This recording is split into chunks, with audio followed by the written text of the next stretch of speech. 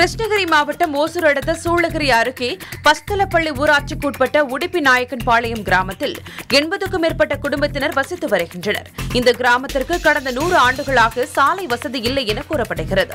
மழை காலங்களில் சேரும் சகதியுமான இந்த சாலையில் செல்லும் மக்கள் மிகவும் சிரமத்திற்கு உள்ளாகி வருகின்றனர். புதிய தார் சாலை அமைத்துக் கொடுக்க வேண்டும் என கிராம மக்கள் பலமுறை அரசு அதிகாரிகளிடம் மனு அளித்தும் நடவடிக்கை ஏதும் எடுக்கப்படவில்லை. இந்நிலையில் அக்கிராமத்தைச் சேர்ந்த நூற்றுக்கும் மேற்பட்டோர் சூளகிரி வட்டாட்சியர் அலுவலகத்திற்கு சென்று போராட்டத்தில் ஈடுபட்டனர். அப்போது அடுத்த மாதம் நடைபெறவுள்ள சட்டமன்ற பொதுத் தேர்தலை புறக்கணிக்கப் போவதாக அறிவித்து வாக்காளர் அடையாள அட்டைகள் அனைத்தையும் அலுவலக வாசலில் போட்டு தரையில் அமர்ந்து கோஷங்களை எழுப்பினர். ரோடு வசதிக்காக கேட்க வந்திருக்கேன் இங்கே கேட்டு வந்து தாலை காப்ஸ்க்கு வந்திருக்கிறோம். ஐடி இந்த ஐடி ஓட் லிஸ்ட்டு அதெல்லாம் எடுத்துகிட்டு வந்து போட்டு போட்டு நாங்கள் கேட்டுங்க.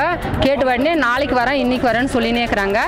சரி இல்லை நாங்கள் இல்லை போராடி இங்கே நான் அவர் ஓடு நாங்கள் ரோடு ஆக வரையிலும் போரல எங்களுக்கு எதனா ஒரு பதில் கொடுங்க அப்படின்னு சொல்லிட்டு இங்கே வந்து போராடி நிற்கிறோங்க இது ஒரு ஃபோன் பண்ணி ஊருக்கு வாங்க அப்படின்னு சொன்னால் ஆம்புலன்ஸ் வர முடியாது.